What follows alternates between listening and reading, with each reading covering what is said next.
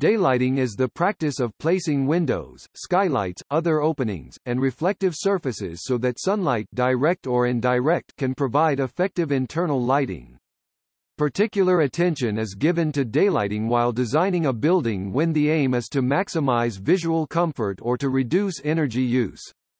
Energy savings can be achieved from the reduced use of artificial electric lighting or from passive solar heating. Artificial lighting energy use can be reduced by simply installing fewer electric lights where daylight is present or by automatically dimming, switching off electric lights in response to the presence of daylight, a process known as daylight harvesting. The amount of daylight received in an internal space can be analyzed by measuring illuminance on a grid or undertaking a daylight factor calculation. Computer programs such as Radiance allow an architect or engineer to quickly calculate benefits of a particular design. The human eye's response to light is nonlinear, so a more even distribution of the same amount of light makes a room appear brighter. The source of all daylight is the sun. The proportion of direct to diffuse light impacts the amount and quality of daylight. Direct sunlight reaches a site without being scattered within Earth's atmosphere. Light that is scattered in the atmosphere is diffused daylight. Ground-reflected light also contributes to the daylight. Each climate has different composition of these daylights and different cloud coverage, so daylighting strategies vary with site locations and climates. There is no direct sunlight on the polar side wall north-facing wall in the northern hemisphere and south-facing wall in the southern hemisphere of a building from the autumnal equinox to the spring equinox at latitudes north of the Tropic of Cancer and south of the Tropic of Capricorn. Traditionally, houses were designed with minimal windows on the polar side, but more and larger windows on the equatorial side south-facing wall in the northern hemisphere and north-facing wall in the southern hemisphere. Equatorial side windows receive at least some direct sunlight on any sunny day of the year except in the tropics in summertime, so they are effective at daylighting areas of the house adjacent to the windows. In higher latitudes during midwinter, light incidence is highly directional and casts long shadows. This may be partially ameliorated through light diffusion, light pipes or tubes, and through somewhat reflective internal surfaces. In fairly low latitudes in summertime, windows that face east and west and sometimes those that face toward the pole receive more sunlight than windows facing toward the equator.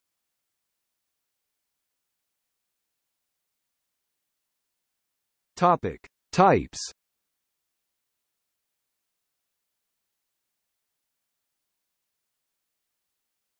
Topic: Windows.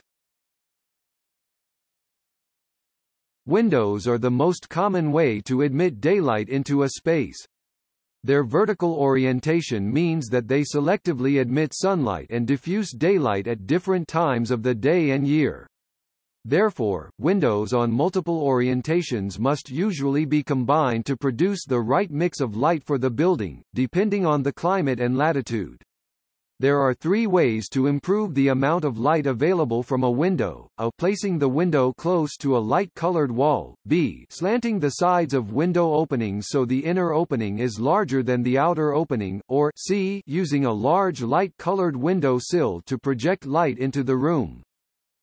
Different types and grades of glass and different window treatments can also affect the amount of light transmission through the windows. The type of glazing is an important issue, expressed by its VT coefficient visual transmittance, also known as visual light transmittance VLT. As the name suggests, this coefficient measures how much visible light is admitted by the window. A low VT below 0.4 can reduce by half or more the light coming into a room but be also aware of high VT glass. High VT numbers say, above 0.60 can be a cause of glare. On the other hand, you should also take into account the undesirable effects of large windows. Windows grade into translucent walls below. Topic: Clerestory windows. Another important element in creating daylighting is the use of clerestory windows. These are high, vertically placed windows. They can be used to increase direct solar gain when oriented towards the equator. When facing toward the sun, clerestories and other windows may admit unacceptable glare. In the case of a passive solar house, clerestories may provide a direct light path to polar side north in the northern hemisphere, south in the southern hemisphere rooms that otherwise would not be illuminated. Alternatively, clerestories can be used to admit diffuse daylight from the north in the northern hemisphere that evenly illuminates a space such as a classroom or office. Often, clerestory windows also shine onto interior wall surfaces painted white or another light color. These walls are placed so as to reflect indirect light to interior areas where it is needed. This method has the advantage of reducing the directionality of light to make it softer and more diffuse, reducing shadows.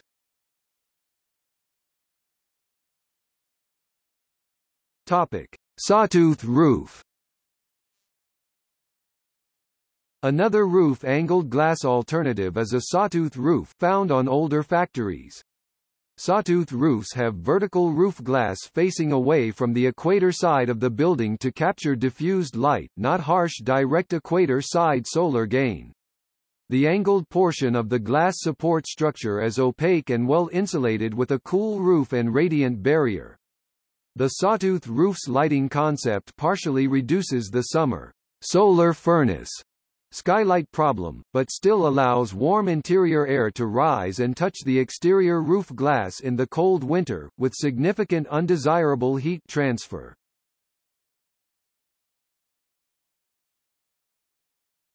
Topic: Skylights Skylights are light-transmitting fenestration products filling openings in a building envelope which also includes windows, doors, etc. forming all, or a portion of, the roof of a building space. Skylights are widely used in daylighting design in residential and commercial buildings, mainly because they are the most effective source of daylight on a unit area basis. An alternative to a skylight is a roof lantern. A roof lantern is a daylighting cupola that sits above a roof, as opposed to a skylight which is fitted into a roof's construction. Roof lanterns serve as both an architectural feature and a method of introducing natural light into a space, and are typically wooden or metal structures with a number of glazed glass panels.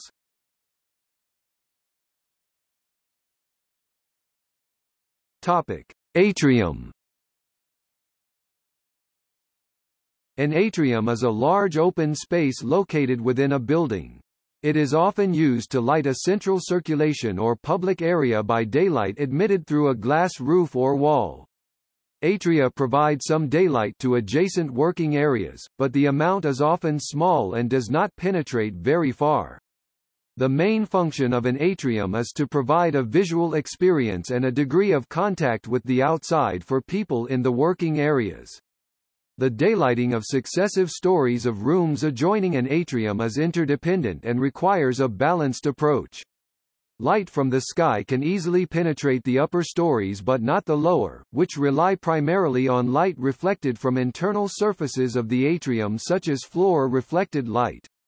The upper stories need less window area than the lower ones, and if the atrium walls are light in color the upper walls will reflect light toward the lower stories.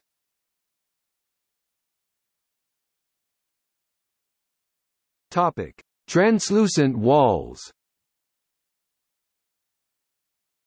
Walls made of glass brick are translucent to transparent. Traditionally, they are hollow and grouted with a fine concrete grout, but some modern glass brick walls are solid cast glass grouted with a transparent glue. If the glue matches the refractive index of the glass, the wall can be fairly transparent. Increasing the amount of concrete, bottle walls embed bottles that run right through the wall, transmitting light. Concrete walls with glass prisms running through them have also been made. With the advent of cheaper optical fibers, fiber optic concrete walls, daylight and shadow images can then pass directly through a solid concrete wall, making it translucent. Fiber optics will lead light around bends and over tens of meters.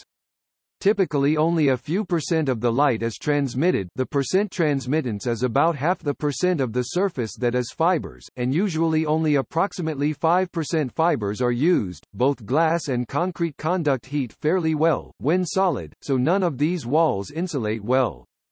They are therefore often used outdoors, as a divider between two heated spaces see images, or in very temperate climates.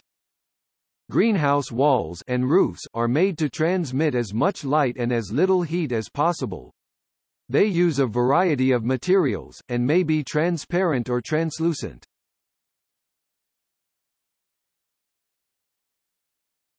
Topic. Remote distribution It is possible to provide some daylight into spaces that have low possibility of windows or skylights through remote distribution devices such as mirrors, prisms, or light tubes. This is called anidolic lighting, from anidolic non-image forming optics. The nonlinear response of the human eye to light means that spreading light to a broader area of a room makes the room appear brighter, and makes more of it usefully lit. Remote daylight distribution systems have losses, and the further they have to transmit the daylight and the more convoluted the path, the greater the inefficiency. The efficiency of many remote distribution systems can also vary dramatically from clear to overcast skies. Nonetheless, where there is no other possibility of providing daylight to a space, remote distribution systems can be appreciated.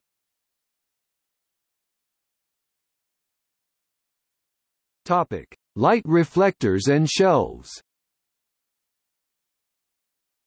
Once used extensively in office buildings, the manually adjustable light reflector is seldom in use today having been supplanted by a combination of other methods in concert with artificial illumination.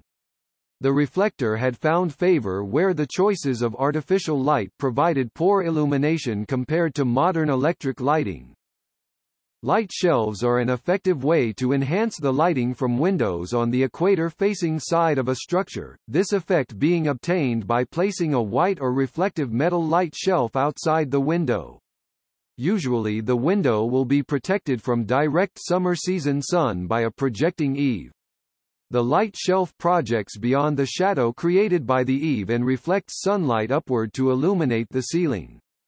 This reflected light can contain little heat content and the reflective illumination from the ceiling will typically reduce deep shadows, reducing the need for general illumination. In the cold winter, a natural light shelf is created when there is snow on the ground which makes it reflective.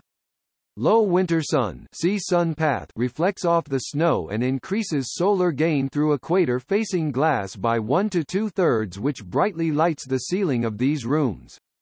Glare control drapes may be required. Topic: Prisms. The oldest use of prisms for daylighting may well be deck prisms, let into the decks of ships to transmit light below. Later, pavement lights or vault lights were used to light basement areas under sidewalks, prisms that used total internal reflection to throw light sideways, lighting the deeper portions of a room, later became popular. Early thick, slow-cooling cast glass prism tiles were often known as Luxfer tiles, after a major manufacturer. They were and are used in the upper portions of windows, and some believe that they contributed to the trend from dark, subdivided Victorian interiors to open-plan, light-colored ones. Daylight redirecting window film (DRF) is a thin plastic version of the old glass prism tiles. It can be used as a substitute for opaque blinds. Topic: Light tubes. Another type of device used is the light tube, also called a tubular daylighting device TDD, which is placed into a roof and admits light to a focused area of the interior. These somewhat resemble recessed ceiling light fixtures. They do not allow as much heat transfer as skylights because they have less surface area. TDDs use modern technology to transmit visible light through opaque walls and roofs. The tube itself is a passive component consisting of either a simple reflective interior coating or a light-conducting fiber optic bundle. It is frequently capped with a transparent, roof-mounted dome light collector and terminated with a diffuser assembly that admits the daylight into interior spaces and distributes the available light energy evenly or else efficiently if the use of the lit space is reasonably fixed, and the user desired one or more bright spots. The tubular daylighting device was invented by Solatube International in 1986 and brought to market first in Australia in 1991.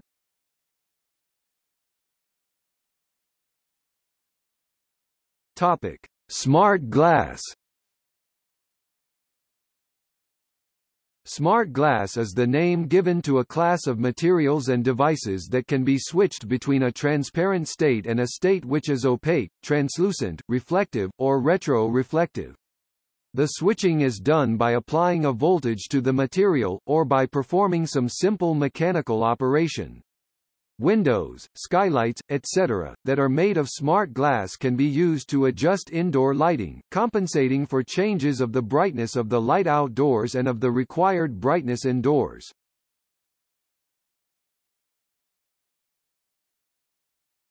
Topic: Solar lighting.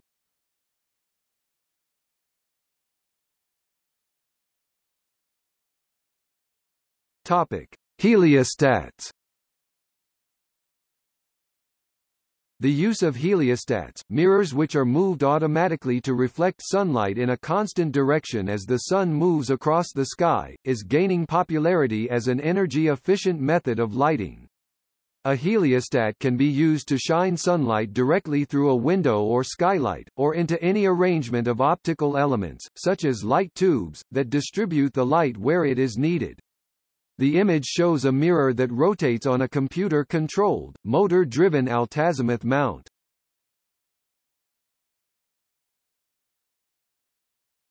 Topic: Solar street lights. Solar street lights raised light sources which are powered by photovoltaic panels generally mounted on the lighting structure. The solar array of such off-grid PV system charges a rechargeable battery, which powers a fluorescent or LED lamp during the night. Solar street lights are standalone power systems, and have the advantage of savings on trenching, landscaping, and maintenance costs, as well as on the electric bills, despite their higher initial cost compared to conventional street lighting. They are designed with sufficiently large batteries to ensure operation for at least a week and even in the worst situation, they are expected to dim only slightly. Topic hybrid solar lighting Oak Ridge National Laboratory ORNL has developed a new alternative to skylights called hybrid solar lighting. This design uses a roof-mounted light collector, large-diameter optical fiber, and modified efficient fluorescent lighting fixtures that have transparent rods connected to the optical fiber cables. Essentially no electricity is needed for daytime natural interior lighting. Field tests conducted in 2006 and 2007 of the new HSL technology were promising, but the low-volume equipment production is still expensive. HSL should become more cost-effective in the near future. A version that can withstand windstorms could begin to replace conventional commercial fluorescent lighting systems with improved implementations in 2008 and beyond. The U.S. 2007 Energy Bill provides funding for HSL R&D, and multiple large commercial buildings are ready to fund further HSL application development and deployment. At night, ORNLHSL uses variable intensity fluorescent lighting electronic control ballasts. As the sunlight gradually decreases at sunset, the fluorescent fixture is gradually turned up to give a near constant level of interior lighting from daylight until after it becomes dark outside. HSL may soon become an option for commercial interior lighting. It can transmit about half of the direct sunlight it receives.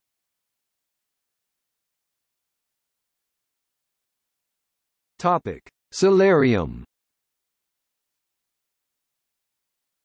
In a well-designed isolated solar gain building with a solarium, sunroom, greenhouse, etc., there is usually significant glass on the equator side.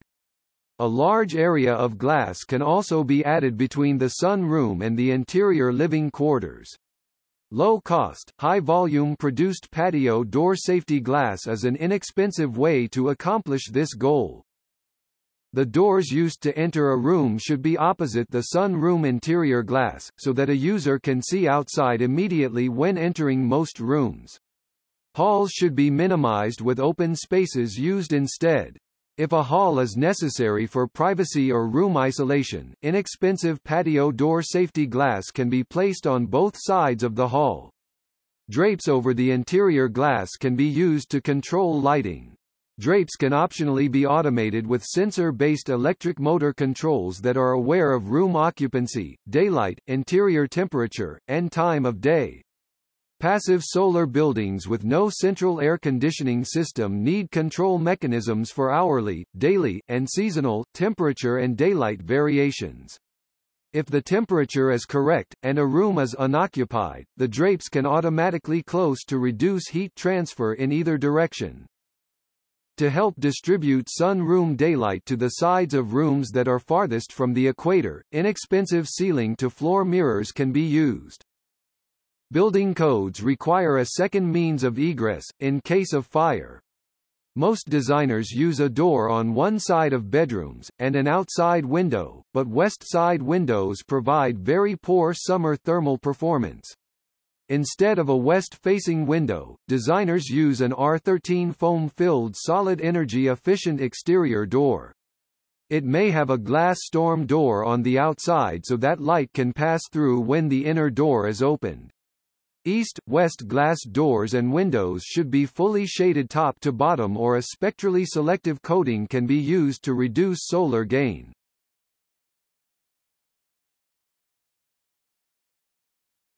Topic: Design. Architects and interior designers often use daylighting as one of design elements. Good daylighting requires attention to both qualitative and quantitative aspects of design.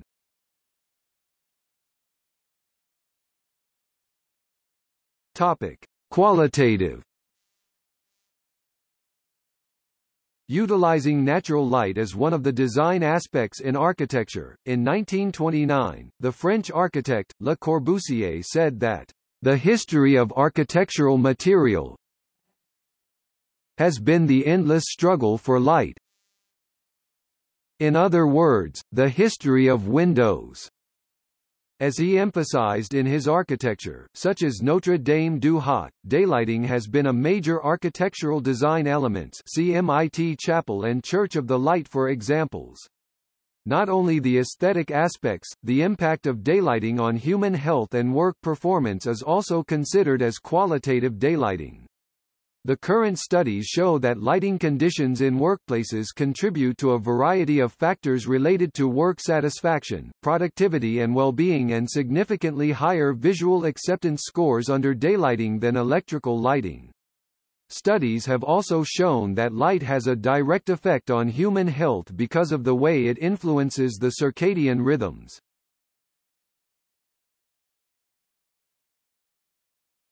Topic: Quantitative A well-daylit space needs both adequate lighting levels and light that is well distributed. In the current building industry, daylighting is considered a building performance measure in green building certification programs such as LEED. Illumination Engineering Society IES and the Society of Light and Lighting SLL provide illuminance recommendation for each space type. How much daylighting contributes to the recommended lighting level determines daylighting performance of a building. There are two metrics that IES has approved to evaluate daylighting performance, spatial daylight autonomy SDA and annual sunlight exposure ASE. SDA is a metric describing annual sufficiency of ambient daylight levels in interior environments. See Daylight Autonomy and LEED documentation sections for more details.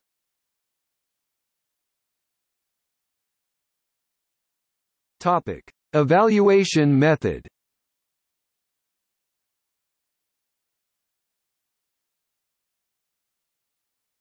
Topic: Field measurements. In existing buildings, field measurements can be undertaken to evaluate daylighting performance. Illuminance measurements on a grid is a basic level to derive an average illuminance of a space. The spacing of the measurement points vary with project purposes. The height of these points depends on where the primary task is performed. In most office spaces, desk level 0.762 meters above the floor will be measured. Based on measurements, average illuminance, maximum to minimum uniformity ratio, and average to minimum uniformity ratio will be calculated and compared to the recommended lighting level. A diagnostic survey specific to lighting can be conducted to analyze the satisfaction of building occupants.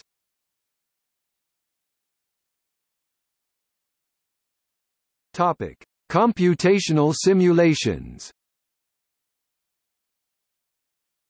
Computational simulations can predict daylighting condition of a space much faster and more detailed than hand calculations or scale model testing. The simulations allow for the effects of climate with hourly weather data from typical meteorological year. Computer models are available which can predict variations in internally reflected light. Radiosity and ray tracing are methods can deal with complex geometry, allow complex sky distributions and potentially produce photorealistic images. Radiosity methods assume all surfaces are perfectly diffusing to reduce computational times. Ray tracing techniques have accuracy and image rendering capacity.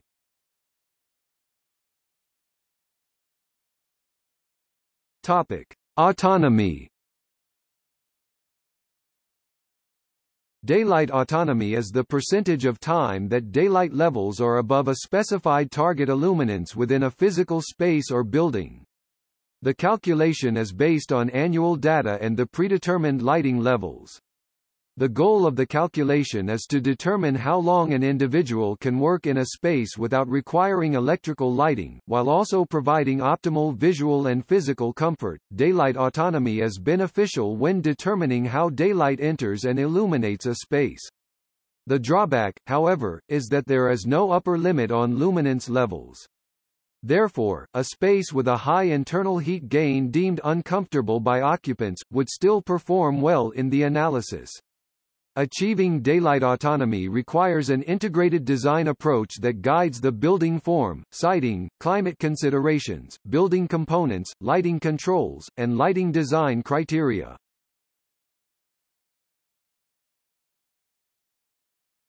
Topic: Continuous Continuous daylight autonomy, is similar to daylight autonomy but partial credit is attributed to time steps when the daylight illuminance lies below the minimum illuminance level.